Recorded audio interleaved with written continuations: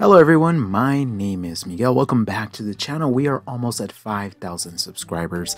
I am truly humbled, so thank you. Today we're actually looking at not one, but two watches from Waldan Watches.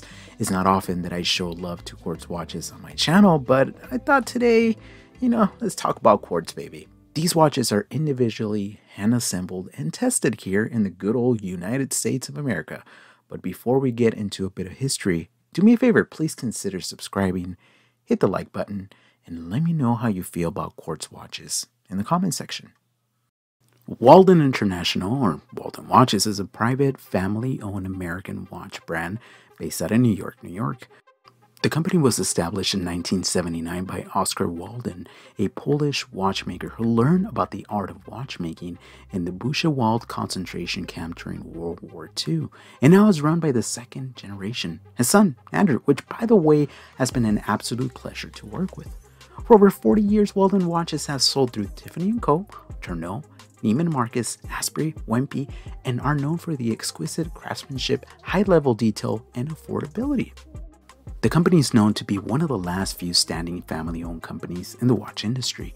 If you want to know more about how they collaborated with Gerald Genta and in a way had something to do with the Zenith El Primero movement being used by Rolex for their Daytona model, well, I recommend you go to their website and look at the About Us section. Today we'll be looking at not one, but two other models their Heritage Professional Canary Yellow model and their Heritage Sportline Silvered White. Let's quickly get into the specs. The specs on both of these watches are the same. The entire watch is constructed of 316L stainless steel. The case measures in at 40 millimeters. It's 47.4 millimeters from lug to lug. It's 8.6 millimeters thick. It has a 20 millimeter lug width. It weighs in at 53 grams. It has 50 meters of water resistance. Protecting the dial, we find a sapphire crystal with AR coating. Powering the watch is the Ameriquartz caliber 70200, and these watches are being sold for sub $300. Most of the case is polished with the exception of the top of the lugs that have some subtle brushing on them. The case is multifaceted and it gives this watch more of a refined look. The 5mm push and pull crown is easy to grip, has been signed, but honestly you won't need to engage with it very frequently due to the quartz movement. On the back of the watch, we do find a polished screwed on case back that has the company logo along with some information about the watch.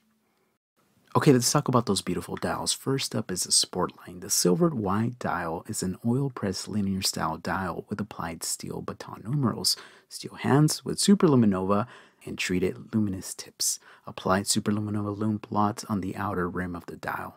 At the 6 o'clock, we do find a sunken and diamond cut subdial for the subseconds, and the register hand has a small blue steel hand. On the dial, we do find the words Waldan, New York, Ameriquartz, and USA Movement.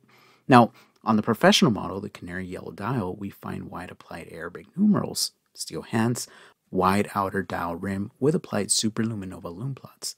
At the 6 o'clock, we also find a sunken and diamond cut subdial for the sub-seconds register with a small red hand, and the watch has the same markings. Waldan, Ameriquartz, and USA Movement. Both of these dials are very impressive in person, but if I had to pick a favorite, I will go with the linear style one. There's something very special about the way those lines play with the light. Although Superluminova has been applied on both of these watches, honestly it's not very bright at all. I personally consider these more dress watches, so I wasn't expecting to see any lume, but my recommendation is either get rid of them or make it a little bit brighter for better visibility in low light conditions. The straps that these watches come with are fantastic. They're made with genuine leather, feature a stainless steel buckle. Now, the silver dial one came with a quick release system, but the canary yellow did not. I do love when companies use quick release systems in their straps as it minimizes the chances of scratching up the case with the tool.